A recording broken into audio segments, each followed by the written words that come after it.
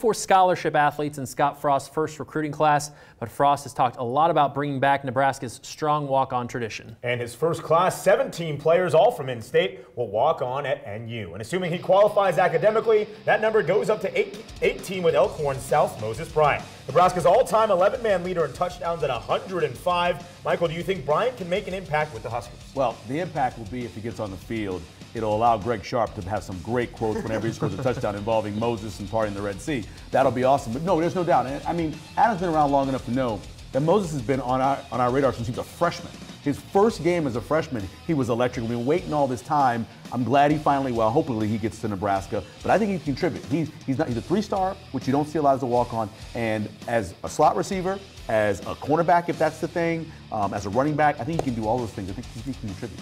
He's got to be very motivated too, especially yeah. when it comes to academics. He's playing a little catch up there in the last part of his high school career. Yeah. And, and it just seems like he really wants to be a Husker, you know, not much attention elsewhere.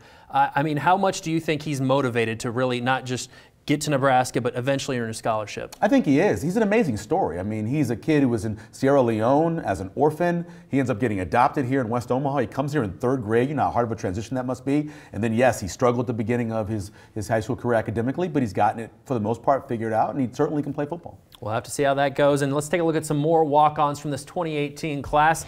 There's Jake Archer from Skutt, and all, and there's a familiar name, Anthony Banderas, younger brother of Josh Banderas. Brody Belt, he can ball over at Millard West. Couple other good ones there.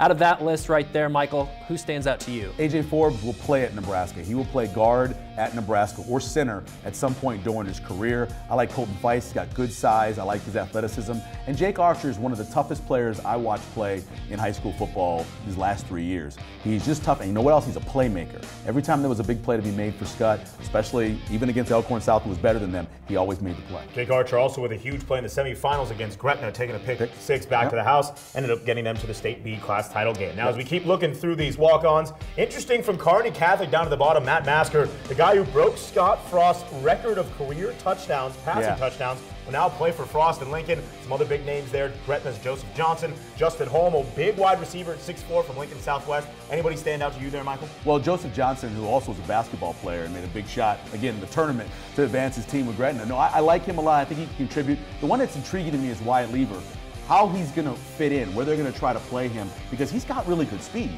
And you got to figure out a way to, to fit him into the offense. Um, but I think that those are the two that kind of stand out to me. A couple more walk-ons to look at here in the class of 2018. You have, uh, you know, York Simonoti from New York. You also, uh, you know, Isaiah Stalbird, yeah. definitely an athletic guy coming out of Kearney. This is the page because I think Simon Simonoti can play here. Cameron Pieper's going to play because he's going to be a long snapper. Isaiah Stalbird could have gone someplace and played corner. Remember, what did they miss out in uh, in terms of recruiting class. They didn't get enough corners. That kid can play corner. And you look down the road when they're looking for somebody to give a scholarship to, I think he might be one of them. And Ryan Schomer just got great size. I think he grows actually into a defensive end at some point and plays for Nebraska. I like that page. A lot of talk going into National Signing Day was about the number of walk-ons yep. heading to Lincoln. They'll end with 18 if Moses Bryant can qualify mm -hmm. academically. Yeah. What do you make of that number, 18 for Scott Frost in the walk-on tradition? There's a lot of you know complaining about the number. Um, let's go back to 1989 when they had 48. You know, well, let's well, let's go back to uh, 2002 when they had 30 something of it. No, it's a good number. I think you always want to be around 20, uh, depending on how your class is going and, and attrition. But he said it. He's going to try to keep as many of those kids in state as he can. He told me years ago he believes that in-state kids are going to play harder for you when it comes down to it. He saw it as a player. He understands it. That's why he's going to make sure those guys stay. When we come back on the OSI Big Red Recruiting Special, we'll look ahead to next year's recruiting class and discuss which top targets Nebraska has its eyes on. Stay right there.